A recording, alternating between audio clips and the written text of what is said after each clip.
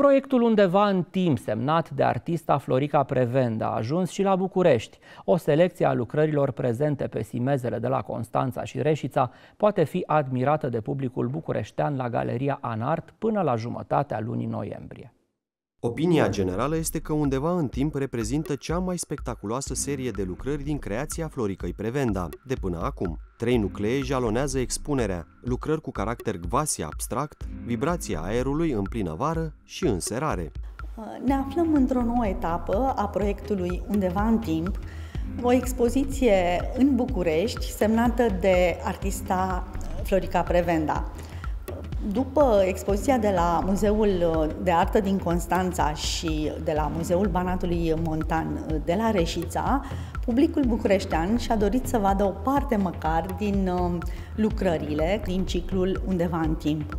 Este vorba despre un amplu proiect pe care Florica Prevenda l-a pregătit în ultimii ani și în care artista aduce către public cumva o confesiune, un um, Uh, prilej de rememorare a unor senzații din copilăria artistei petrecută într-un sat din Bărăgan. Sunt lucrări impresionante prin forța și vulnerabilitatea pe care le degajă. Este vorba despre Uh, senzații pe care artista le-a trăit și nu în ultimul rând este un demers de cercetare în care uh, toate aceste senzații sunt căutate și livrate către public într-o manieră insolită. Pentru că, așa cum știm, Florica Preventa Uh, ne-a obișnuit de fiecare dată cu cicluri noi de lucrări, cicluri în care se reinventează.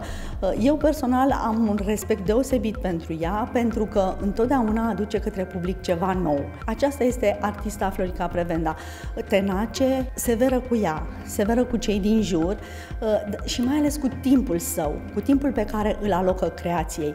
Orizonturi largi, crengi abia sugerate, Miriș ștarse și ciulini purtați de vânt povestesc despre Bărăgan. În această expunere la Anart regăsim și lucrări care au figurat în celelalte expoziții, dar, așa cum ne-a obișnuit, Florica Prevenda aduce și lucruri noi, lucruri pe care le-a făcut special pentru acest spațiu.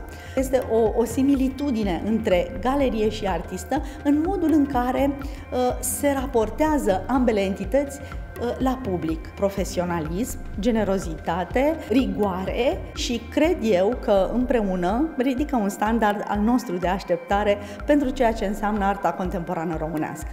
Expoziția rămâne deschisă până pe 18 noiembrie la Galeria Anart din București.